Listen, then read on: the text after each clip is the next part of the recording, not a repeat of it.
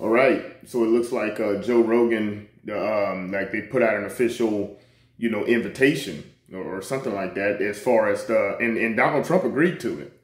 Honestly, at that point right there, that should be a problem right there for, for Joe Biden's campaign or for anybody that's supporting Joe, uh, uh, Joe Biden.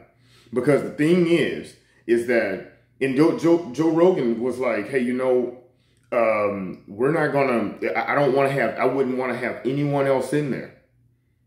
No one else I want, he doesn't want anyone else in the room, just them three, and that's it. Honestly, I think that that would be amazing. And at that point, you have to, you would see who, who really needs to, honestly, who really needs to lead.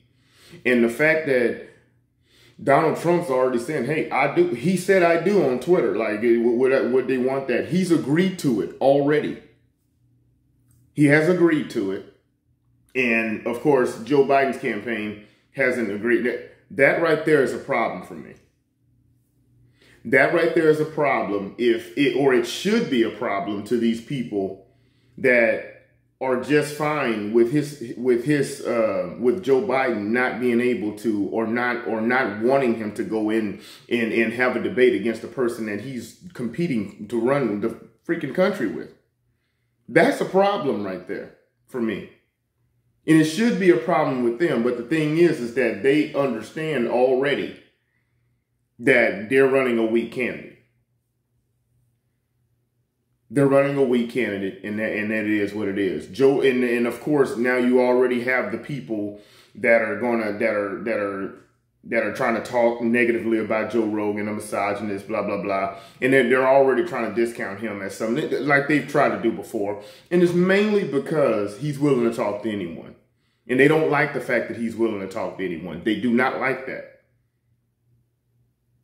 They, they he's a person that has not picked a side to to softball questions to like like like a lot of people on the left do like a lot of interviewers do like a lot of people in the media.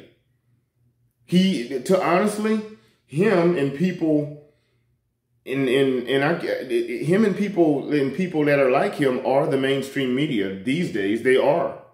The, he's a replacement. That's what they do not like about him. That's kind of one of those ways I want to kind of go with my with my uh, with my channel or, or starting the podcast and stuff like that. I want to go this way. Talk to everyone. Just have just have freaking questions. And and treat everyone the same. Not saying, well, I'm on softball. Like the the, the, the questions that have been asked at Joe Biden's campaign, uh, basically in in so many words is uh, Joe Biden, why are you so awesome? What's what?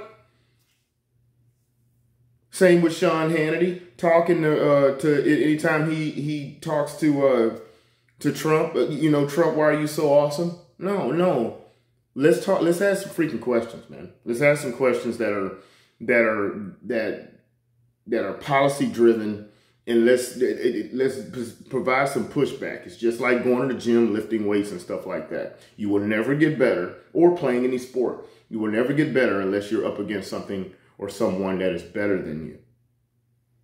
That's how you get stronger. That's how you get better. Anyway, that's my thoughts on that. Comment, like, share, subscribe, and we'll see you on the next one. All right.